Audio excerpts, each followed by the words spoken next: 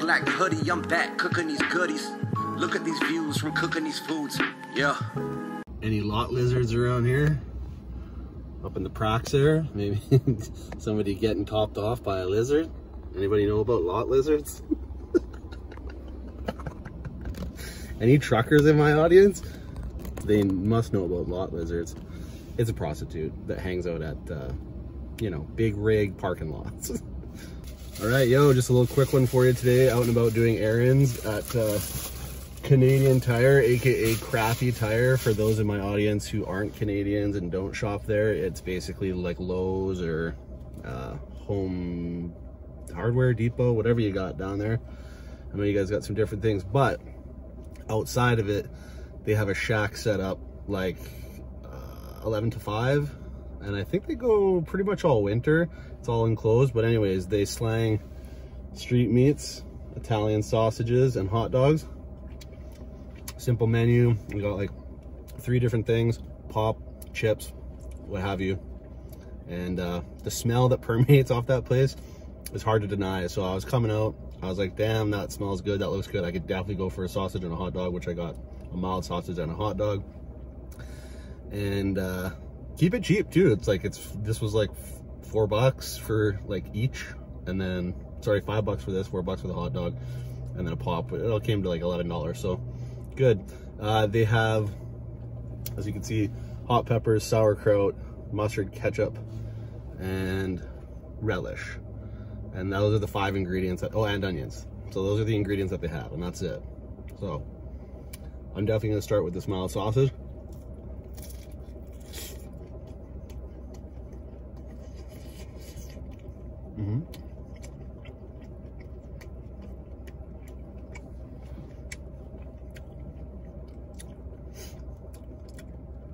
Very good. I can't hack spicy sausages.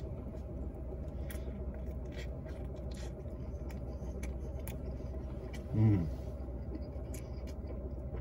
Mm -hmm.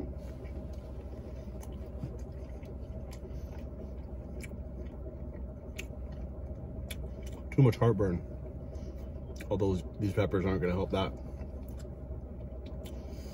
I can promise that. But yeah, a lot lizards. That's just because over in this side of the parking lot, there's all these like big rigs parked here.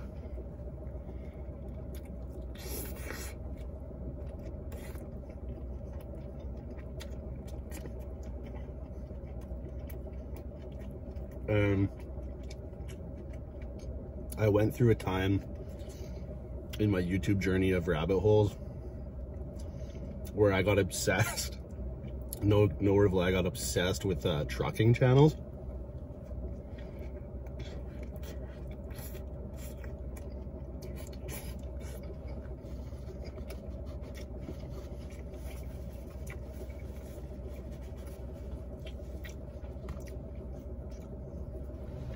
Going on here?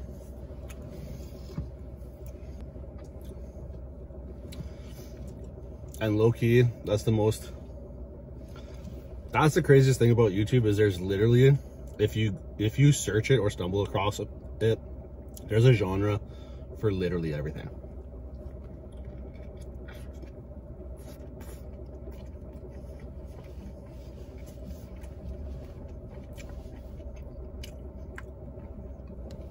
So I got deep into this trucking channel thing. And there's this one guy in particular named Trucker Brown. and uh, I think he's in his like mid to late 30s, black dude.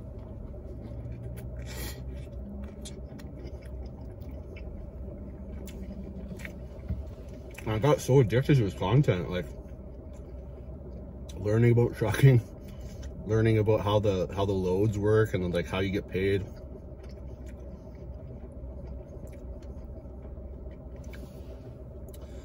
You know, tips on tricks and, and like how to drive big trucks. Man, these are good. And then there's a whole community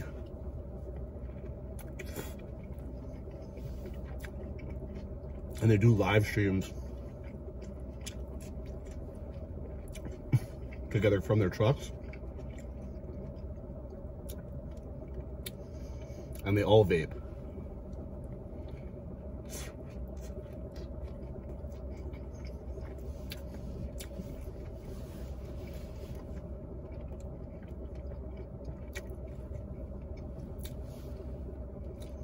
But that's where I learned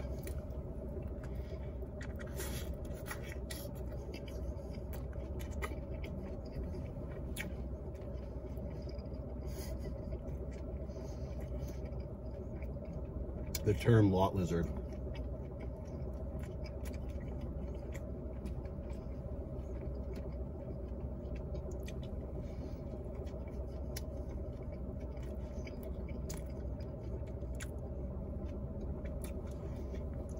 Basically OnlyFans for the truck stop, you know? Real life OnlyFans for the truck stop.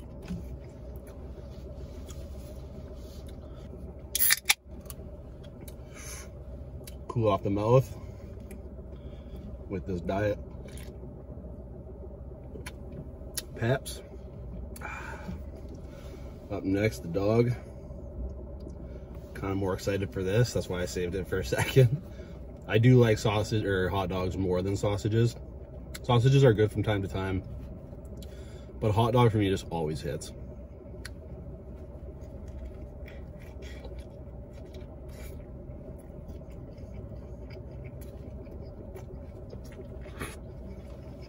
Mm. Yeah. Definitely.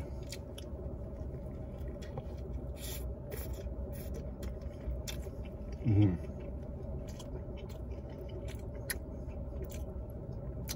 Glad I saved this for a second. but yeah, weirdly, when I got into this this truck channel on YouTube, I was like all inspired and I was like looking into like getting a CDL. and uh, because I was all like depressed and didn't know what to do with my life. and I was just like, that seems like a not bad, like a pretty, like for me at least, a very solo career where like you're pretty much alone. You can just listen to podcasts and music.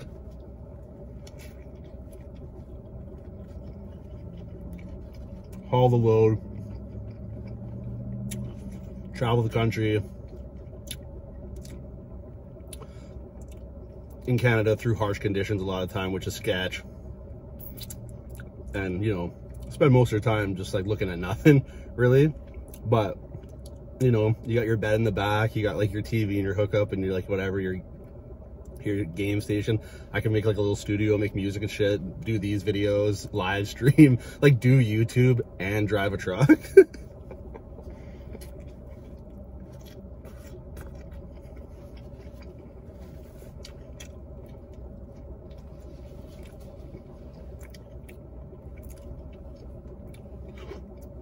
because there's something so appealing to me about a career where like you minimize uh,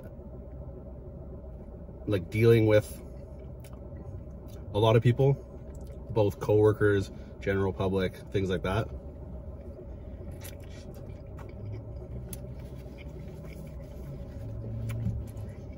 But for the most part you do your own thing of course there's always going to be some sort of headache and bullshit that you're going to run into like that's called working jobs but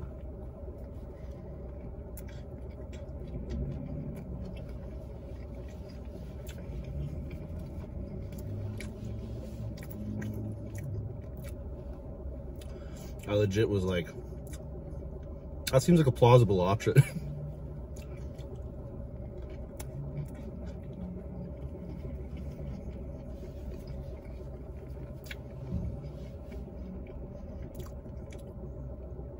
The only thing about it is I understand how truckers would gain a lot of weight.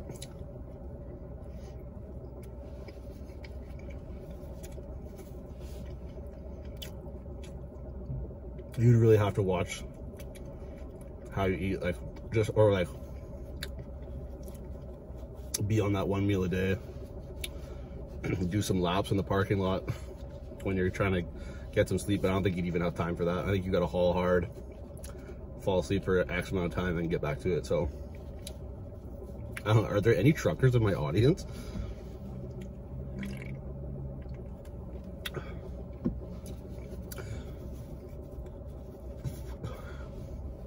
I'm sure it's a uh, definitely a interesting slash hard, you know, isolating life. But I already have a very isolated life, and don't we all?